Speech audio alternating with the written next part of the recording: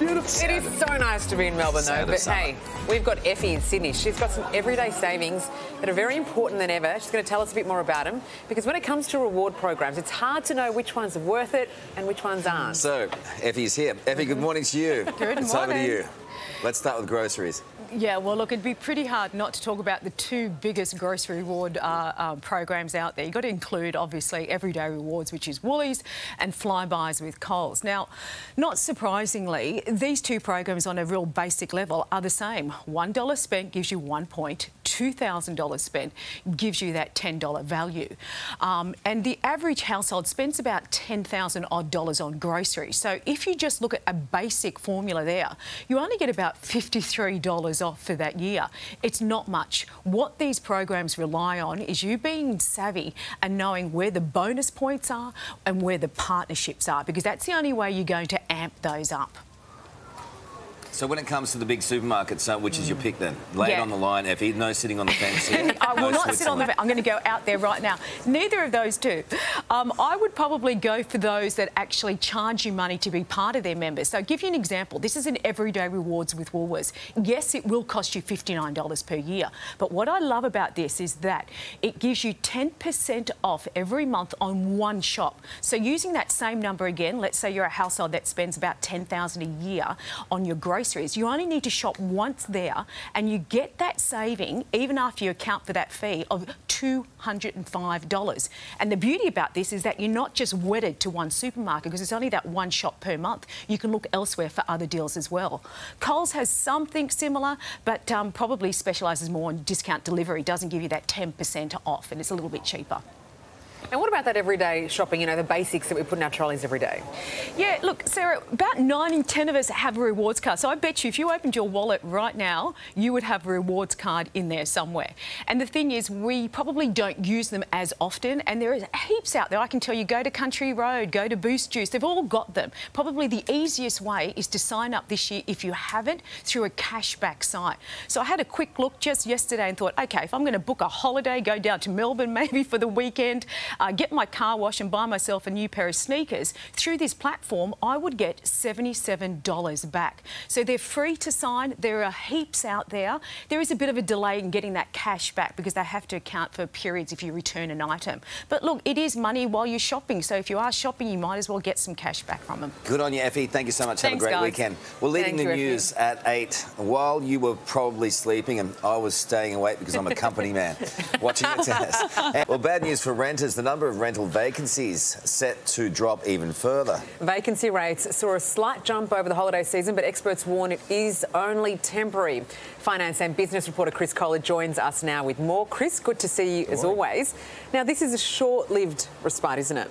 It is, and we've been covering this issue as it's developed, and it's now an enormous problem for the one third of Australian adults who rent. And, and you're right, there was a slight improvement in the number of properties on the market and a slight easing of the rate of increase in the cost of renting recently. But I, I think you're right, nobody would have noticed because it's such a problem out there. All you have to do is go to an open for inspection during the week or on the weekend and find the hundreds of people who are turning up, and the asking rents that are up, you know, $100 a week compared to this time last year is now fairly common. You're seeing these kinds of queues, amazing. and it's very demoralising for people who are just trying to find a place to live. Completely. Um, what can Aussie uh, expect then in the coming months? Unfortunately, it's going to remain pretty tight. The vacancy rate that you mentioned there is the big problem. It's under 2%. So if you consider that there's 100 rental properties, fewer than two of them are available right now. And so you get this kind of competition. And unfortunately, the rate of increase in uh, the cost of the weekly rents is also hitting record highs around the country. So it's not a particularly good market. The one piece of good news is this means that the yield on investment properties is starting to improve. And so that means that investors are going to be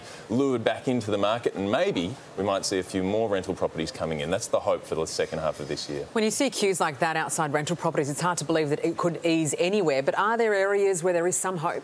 Yeah, it's happening. Um, look, the, the biggest problems are happening in the CBDs, places close to the universities as foreign students rise. I mean, the Melbourne CBD behind us, the price of renting there has gone up 33% in the last 12 months. I mean, albeit from a trough. But yeah, the, the places that are doing better right now are, are probably out of the major cities. Um, the capital cities, particularly Melbourne and Sydney, are the biggest problems. Advice to right renters then?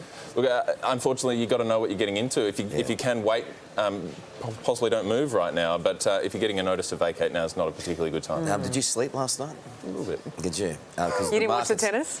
Well, look, He's watching the market, I was- yeah, of course. You've got to watch the overseas Markets markets. never sleep. NASDAQ Sorry, was- tennis girl What's here. going on there? Yeah. Yeah, what's going?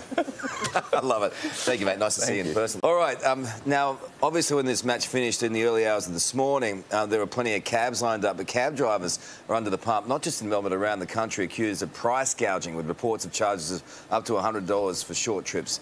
Um, Neil, do you reckon something needs to be done here? Yeah, I do. I think Jacinta Allan, the acting premier, says, oh, everything's working beautifully. Tell that to the disabled guy who couldn't get a cab because they wouldn't take it. Tell them the hmm. people paying 100 bucks to go a few hundred metres from the tennis to the CBD.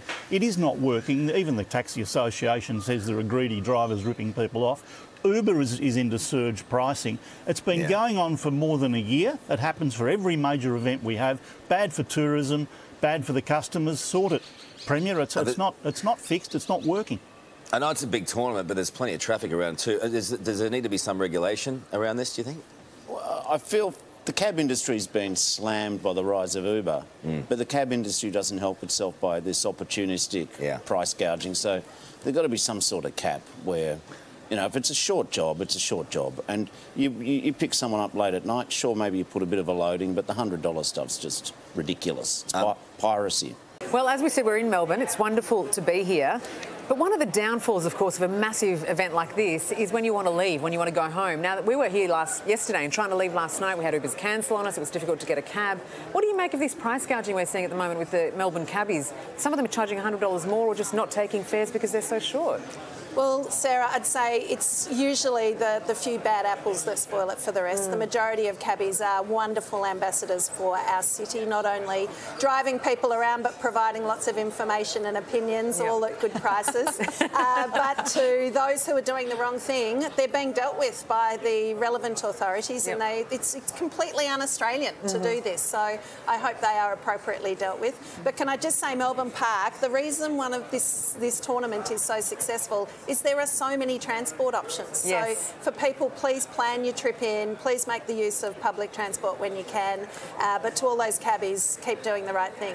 And Jane, you're a local girl as well. I love the trams and trains here in Melbourne. That's another option. Me too. I took the tram down here myself Easy. this morning, and, uh, and look, they do run at very late hours, which is terrific. The trams are a really great system. The train's just around the corner too, but also the parks around here mean that you know walking here is a really good option too. You get to enjoy so much more of Melbourne. That's why it's, this is such a great event. Does the state government need to intervene, though, do you think, to clamp down on the cabbies? Oh, I, I- I think that they already are. You know, it, it- Sally's right. It's entirely un-Australian. Going to the Australian Open is a really, uh, you know, it's an important ritual, but it's not a cheap one. It's actually quite expensive, and I think it's unfair that cabbies are, are you know, charging more than necessary uh, for people that have already spent a fair bit here at the ground. Especially when all we want to do is come here and enjoy the tennis, right? Yeah. hey there, Today fans. Sarah and What's my name again? oh my goodness, Karl. Hey, thanks for watching our YouTube channel, though. Subscribe now for more news, special reports, and amazing Aussie stories. And Karl misbehaving, Whoa, of course. that never happens. always happens. What's she talking about?